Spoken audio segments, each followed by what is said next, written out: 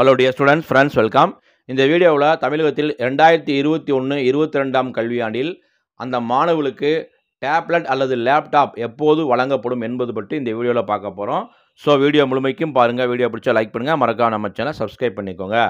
தமிழக பள்ளி கல்வித்துறை அமைச்சர் இரண்டு மாதங்களுக்கு முன்னாடி டென்த்து டுவெல்த்து படிக்கக்கூடிய அந்த மாணவர்களுக்கு டேப்லெட் வழங்கப்படும் அப்படின்னு ஒரு அறிவிப்பை வந்து செஞ்சுருந்தாங்க.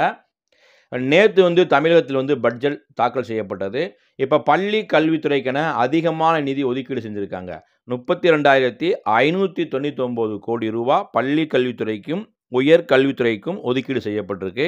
இதில் வந்து பார்த்திங்கன்னா பல்வேறு வந்து தொடக்கப் பள்ளிகள் உருவாக்க போகிறாங்க அதே மாதிரி ஒவ்வொரு பள்ளிகளையும் அரசு பள்ளிகளையும் தரம் உயர்த்த போகிறாங்க அப்கிரேட் பண்ணுவாங்க. எலிமெண்ட்ரி வந்து மிடில் ஸ்கூலாக மாற்றுவாங்க எங்கெங்கெல்லாம் மிடில் ஸ்கூல் இருக்கோ அங்கே வந்து ஹை ஸ்கூலாக மாற்றுவாங்க அந்த ஹை ஸ்கூலெல்லாம் ஹையர் செகண்டரியாக மாற்றுவாங்க அது மட்டும் இல்லை இந்த விட வந்து பார்த்திங்கன்னா நிறையா ஒரு எண்ணூற்றி ஐம்பதுக்கும் அதிகமான ஸ்மார்ட் வகுப்பறைகள் உருவாக்க போகிறாங்க அதுக்கும் நிதி ஒதுக்கீடு செய்யப்பட்டிருக்கு.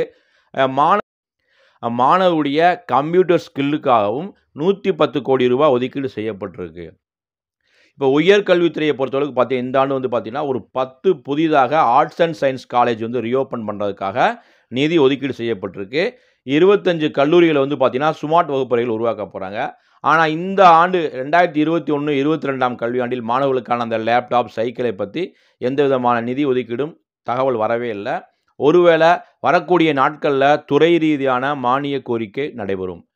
பள்ளி கல்வித்துறை சார்பாக நடைபெறக்கூடிய அந்த மானிய கோரிக்கையில் ஏதாவது அறிவிப்பு வருமானம் நம்ம அன்னைக்கு தான் செக் பண்ணுவேன் ஏன்னா ஏற்கனவே வந்து அந்த பட்ஜெட் அன்னைக்கு சில விஷயங்களை சொல்லியிருக்காங்க. முழுமையாக எப்போ சொல்லுவாங்கன்னா அந்த துறை ரீதியான கோரிக்கை பள்ளி கல்வித்துறை சார்பாகவும் உயர் கல்வித்துறை மானிய கோரிக்கை அன்றைக்கி நடைபெறும் போது பார்த்தீங்கன்னா ஒவ்வொரு விஷயங்களும் இருக்கக்கூடிய அமௌண்ட்டை வந்து இந்த இயர் எதுக்கு எதுக்கெல்லாம் ஒதுக்கீடு செஞ்சுருக்காங்க அன்னைக்கு கண்டிப்பாக தெரிய வந்துடும் இந்த ரெண்டாயிரத்தி இருபத்தொன்று இருபத்தி ரெண்டாம் கல்வியாண்டில் மாணவர்களுக்கு இந்த டேப்லெட் கொடுப்பாங்களா மாட்டாங்களான்னு தெரிய வரும். அது வரைக்கும் பொறுத்துருங்க. ஒன்ஸ் வந்து உங்களுக்கு கொடுத்தாலும் ஸ்கூலெல்லாம் ரெகுலராக நல்லா ரீஓப்பன் பண்ணி அதுக்கு அடுத்து தான் உங்களுக்கு தரக்கூடிய ஏற்பாடுகள் நடக்கும். அந்த பள்ளி